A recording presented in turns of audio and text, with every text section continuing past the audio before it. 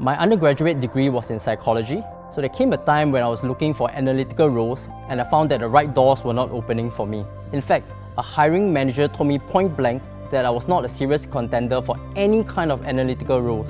But being part of SMU's Master of Science in Quantitative Finance changed everything. The program strikes a very good balance between theoretical and practical knowledge. So aside from learning about traditional financial instruments, we also learn how to program on Python, which is very relevant in the field today. I was impressed by the caliber of professors teaching in this class. Many of them are industry practitioners. With their extensive experience, they are able to bring the class to life with real-life examples.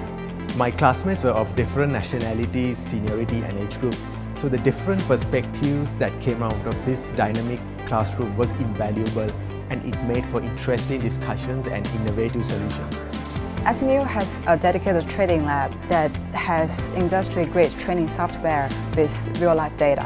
This is very useful in facilitating learning and teach us about market microstructure and model testing. Quantitative finance is a cross-disciplinary topic, so MQF students will get to learn mathematical modeling, financial knowledge, and also computer programming skills.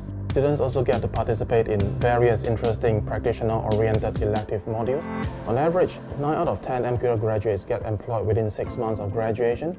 The SMU track is conducted entirely in Singapore.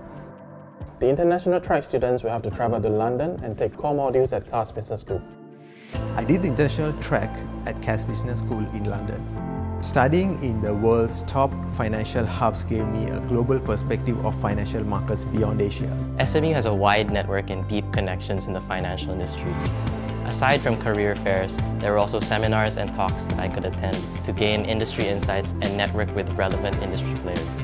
My most memorable moment was when I was offered the position of quantitative analyst.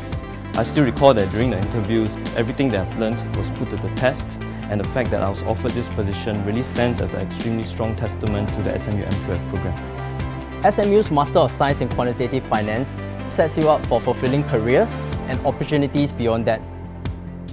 For me personally, this has been truly transformational